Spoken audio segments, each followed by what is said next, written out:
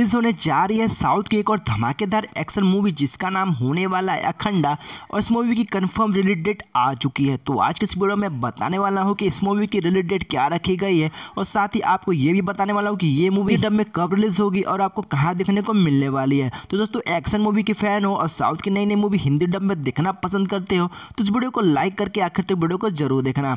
तो दोस्तों अखंडा एक एक्शन ड्रामा मूवी होने वाली है जिसके लीड रोल में हमें नंदामोरी बालाकृष्ण और प्रिया जायसवाल जैसे सुपरस्टार देखने को मिलने वाले हैं।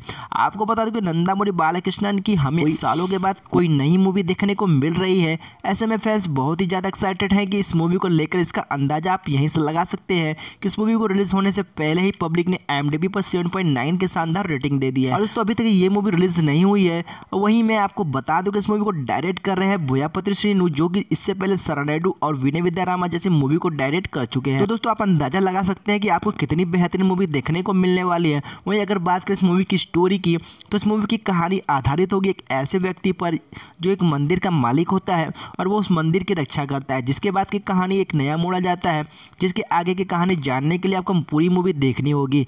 इस मूवी को देख इस मूवी में हमें ज़बरदस्त एक्शन सीन्स देखने को मिलने वाले हैं तो आप इस मूवी को एक बार ज़रूर देखना। अगर आपको एक्शन मूवी देखना पसंद करते हो तो अगर बात करें इस मूवी की रिलीज़ डेट तो उससे पहले आप हमें कमेंट करके ज़रूर बताना कि आप आपने इससे पहले नंदामुरी बालाकृष्ण की कोई मूवी देखी है या नहीं? देखी है या फिर आप पहली बार देखने वाले हो? हमें नीचे कमेंट सेक्शन में ज़रूर बताना। और अगर बात करें इस मूवी की रिलीज़ डेट की तो इस मूवी की रिलीज़ को लेकर कुछ ऐसी खबरें निकल के आ रही है कि इस मूवी को तीन दिसंबर को सिनेमाघरों में रिलीज़ किया जा सकता है लेकिन फ़िलहाल इस मूवी की हिंदी डब में नहीं रिलीज़ किया जाएगा। तो अगर आप इस मूवी को हिंदी डब में देखना चाहते हो तो ये मूवी आपको रिलीज़ के तीन से चार महीनों के बाद हिंदी डब में भी देखने को मिल जाएगी। जिसके लिए आप हमारे चैनल को भी सब्सक्राइब करके रखना बेल वाले बटन को दबा के रखना ताकि ये मूवी जैसे ही हिंदी डब में रिलीज़ हो तो आपको नोटिफिकेशन की अपडेट सबसे पहले मिल जाए। तो दोस्तों, मिलते हैं नेक्स्ट वीडियो में साउथ कोर्ट भी अपडेट के साथ। Thanks for watching this video